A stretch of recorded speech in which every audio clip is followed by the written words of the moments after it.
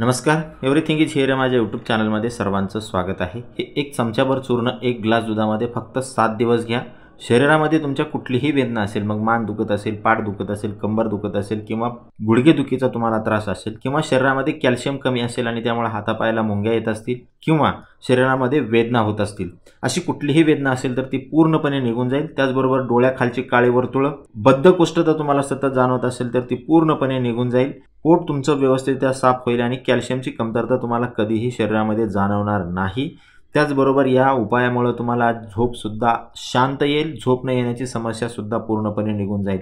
उष्णतेमुळे अंगाला सतत घाम येतो हातापायांना आग होते किंवा पोटामध्ये आग पडल्यासारखं होतं ही समस्यासुद्धा या उपायामुळे निघून जाते. उपाय अगदी साधा आहे ज्या दोन तीन वस्तू आपल्याला लागणार आहेत त्या आपल्या घरामध्ये सहजरित्या उपलब्ध होतात. तर हा उपाय कोणत्या वेळेला आणि कसा करायचा आहे हे खूप महत्त्वाचं आहे. तेव्हा हा व्हिडिओ तुम्ही शेवटपर्यंत नक्की पहा. झोप न येणं शरीरामध्ये कॅल्शियमची कमतरता असणं किंवा शरीरामध्ये वेदना होणं ही नित्याची बाब झालेली आहे. आपल्या कामाचं स्वरूप बसण्याची पद्धती किंवा शरीरामध्ये कॅल्शियमची कमतरता असल्यामुळं बऱ्याच लोकांना शरीरामध्ये विविध ठिकाणी वेदना होत असतात. या वेदना घालवण्यासाठी त्याचबरोबर डोळ्याखालचं जे काळावर्तुळ असतं किंवा डिप्रेशन मध्ये आपण राहत असतो या गोष्टी कमी करण्यासाठी झोप न येण्याची जी समस्या असते ती घालवण्यासाठी आपल्या घरामधल्या या दोन तीन वस्तू तुम्ही वापरून ते चूर्ण बनवून एक ग्लास दुधामध्ये फक्त सात दिवस घेऊन बघा. तुमच्या या सर्व समस्या पूर्णपणे निघून जातील. तर हा उपाय करण्यासाठी आपल्याला जी पहिली गोष्ट लागणार आहे ती आहे धने. धने आपल्या सर्वांच्या घरामध्ये असतात.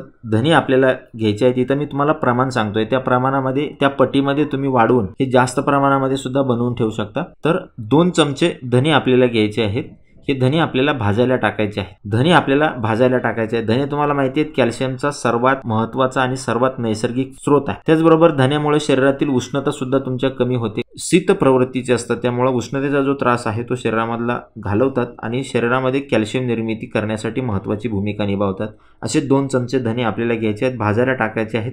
दुसरा जो घटक आपल्याला यामध्ये टाकायचा आहे ते आहे खसखस किंवा पॉपी सीड ज्याला म्हणतो आपण ते याच्यामध्ये टाकायचे आहेत. खसखसमध्ये विविध प्रकारचे अल्कलाइड असतात जे वेदना शरीरामधल्या दूर करतात. मग त्यामध्ये जॉईंट पेन असतील किंवा विविध प्रकारच्या वेदना असतील त्या नष्ट करतात. त्याचबरोबर यामध्ये अँटीऑक्सिडंट असतात ज्यामुळं तुमच्या चेहऱ्यावर सुरकुत्या पडल्या असतात तर त्या दूर करतात. त्याचबरोबर डोळ्याखालचे जे काळे वर्तुळ पडलेले आहेत ते घालवतात. शरीरामधला स्ट्रेस कमी करतात आणि झोप सुद्धा तुम्हाला व्यवस्थित येते या खसखसमुळे. तर अशी पाव चमचा दोन चमच्या धण्यासाठी पाव चमचा आपल्याला खसखस टाकायची आहे. या दोन्हीला भाजून घेतल्यानंतर खूप काळं पडू द्यायचं नाही. भाजून घ्यायचं आहे हलकं आणि भाजून घेतल्यानंतर या दोन्हीचं चूर्ण बनवायचं आहे. त्याला चांगल्या रीतीनं कुटून घ्यायचं आहे. कुटून घेऊन एक ग्लास दुधामध्ये एक चमच्याभर चूर्ण हे आपल्याला टाकायचं आहे. त्यामध्ये दुसरा घटक जो आपल्याला मिक्स करायचा आहे ती आहे खडीसाखर दोऱ्यावाली जी खडीसाखर असते ती आपल्याला वापरायची आहे. आणि जर तुम्हाला शुगरचा त्रास असेल मधुमेह असेल तर तुम्ही साखर न वापरता सुद्धा हा उपाय करू शकता. पावडर करून घ्यायची ती यामध्ये मिक्स करायची आहे. आणि रात्री झोपण्याच्या आधी म्हणजे जेवणानंतर रात्रीच्या जेवणानंतर तुम्हाला हा उपाय करायचा आहे झोपण्याच्या आधी.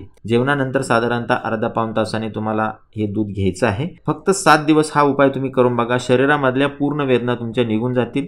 मानदुखीचा त्रास असेल पाठदुखीचा असेल किंवा जॉईंट पेनचा त्रास असेल तो निघून जाईल. शरीरामध्ये तुमच्या कॅल्शियम नॅचरली निर्माण झालेलं दिसेल. तुम्हाला एकदम शांत पद्धतीनं झोप लागलेले दिसून येईल. त्याचबरोबर स्ट्रेस तुमचा कमी होईल डोळ्याखालची वर्तुळं तुमच्या निघून जातील. शरीरामधील उष्णता सुद्धा तुमच्या पूर्णपणे निघून जाईल. उष्णतेचा त्रास तुमच्या निघून जाईल. तर हा अत्यंत साधा सोपा सहज करता येणारा उपाय तुम्ही अवश्य करून बघा. गरजूपर्यंत हा व्हिडिओ तुम्ही शेअर करा आणि अशाच नवनवीन उपयुक्त आयुर्वेदिक माहितीसाठी एव्हरीथिंग इज हिअर या माझ्या यूट्यूब चॅनलला लाईक आणि सबस्क्राईब करा. नोटिफिकेशनसाठी बेल आयकॉनवर क्लिक करा. धन्यवाद.